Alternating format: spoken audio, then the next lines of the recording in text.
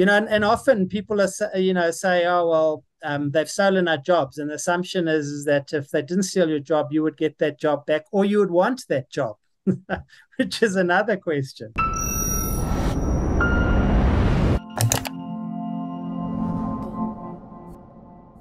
Are foreigners being unfairly scapegoated by South Africans? This is a question that I posed to author and entrepreneur GG Alcock in a recent episode of my podcast. What follows is a short extract from a longer conversation. You can watch the full length discussion by clicking on the link in the description below. Enjoy. We're seeing a lot of community groups, civil society actors, particularly in rural towns, coming together to fix uh, municipal sewage works or to fill potholes, for example. Uh, are there kind of collective mechanisms whereby some of these traders in Ekasi can kind of come together and start to improve the, the operating environment themselves, filling the potholes and uh, you know facilitating access to uh, you know uh, transport or electricity or what have you. I think it's much more limited in the sense that many of the, you know the whole, I guess, um, uh, one of the issues with the sector is in essence it's non-networked. You know, they they very rarely have associations. I mean, we're not talking now the taxi industry, yeah. but you know, most of the other guys w- would not really have an organized business forum, as an example. Um, and um, you will have residents associations which do do this kind of thing, but um, from a business perspective, much much less organized. Um, and those who are organized are often like a hawker association, uh, where often, I mean, the hawker association in in downtown Joburg took the city of Joburg to court and managed to stop them from evicting them from the street. So, you know, that's a good example. They they raised enough money and and and were organized enough to to take the city to high court.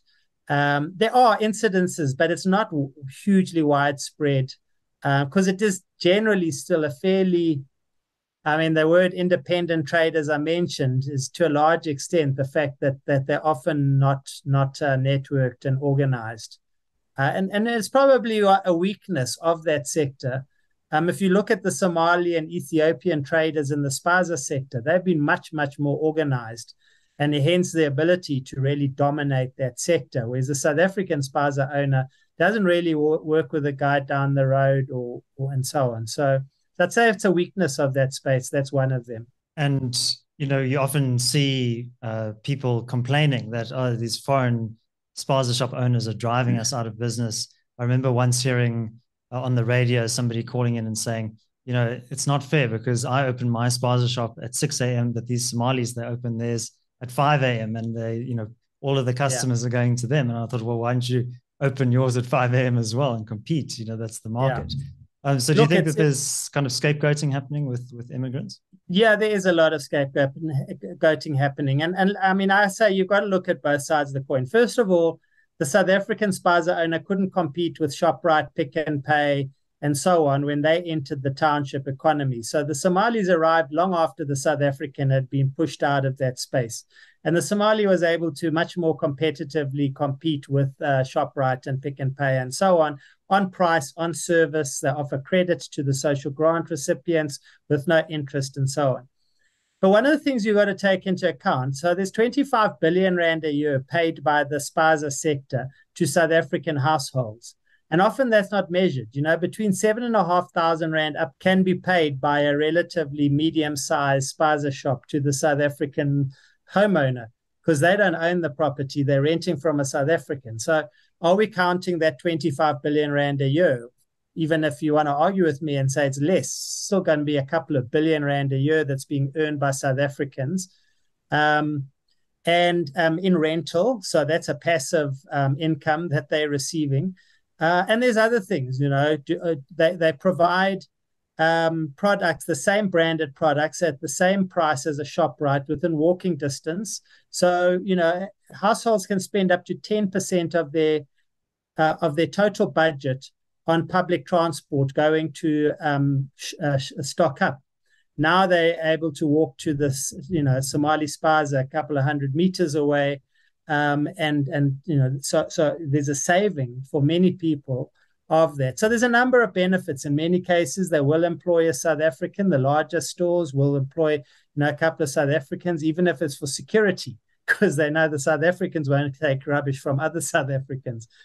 You know, so you, you've got to lend, you know, put some some perspective on it. The other thing about it is that you can't say they're illegal immigrants. Some of them are, many of them, the majority are probably illegal, but a large number of the Ethiopians and Somalis will have a non resident ID. They will have a driver's license. The larger stores will even be registered for VAT and so on. So I think we have to be careful when we look at it um, in terms of what is the equation. You know, what's the balance in terms of what they do versus what they don't do. And I think it's it's a terribly simplistic, and it has been proven wrong to to show to say that the foreigners have stolen South Africans' jobs and they dominate in this informal economy. At best, they dominate in the spaza sector. But if you look at it across the total informal economy, if that's what you want to call it, they're only in certain sectors. They're not in the alcohol sector, it's a 110 billion rand sector. They're not in the fast food sector, another 90 billion sector.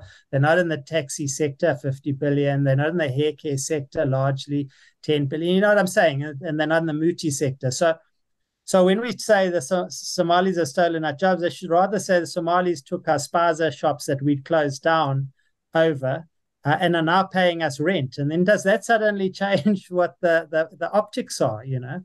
And saving us money when we go and actually buy goods from the spaza shop. 100%. And I've often said to, you know, um, uh, one, one of the politicians um, uh, asked me about this, and I was like, okay, so the assumption you make is that if you got rid of all the Somalis and Ethiopians and Bangladeshis in the country, a South African would take their job immediately.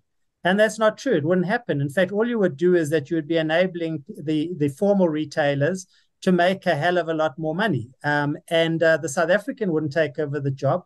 The South African wasn't able to.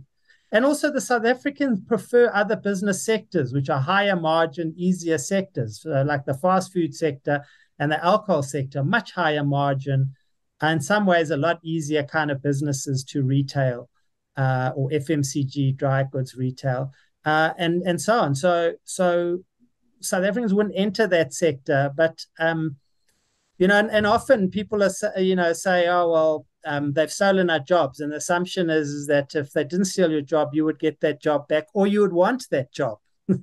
which is another question. Thanks for watching. If you enjoyed this discussion, you might want to check out the full length interview with GG Alcock. That's linked over here. You can also subscribe to my other channel. That's linked over here. My name is David Ansara. Until next time, take care.